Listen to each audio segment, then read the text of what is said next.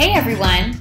Here is the monthly market update for the month of November for the Lake Arrowhead and surrounding areas. Brought to you by me, Michelle Calkins.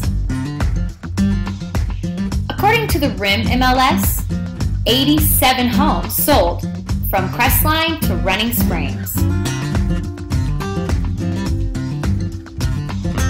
39 sold in Arrowhead Woods, averaging 364,000.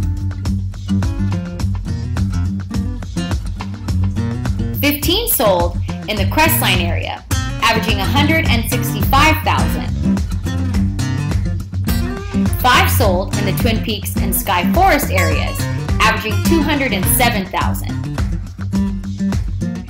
And 9 sold in the Running Springs area, averaging 233,000. Don't forget to visit my website, michellecalkinsrealtor.com and learn more about my monthly market updates. See you around town!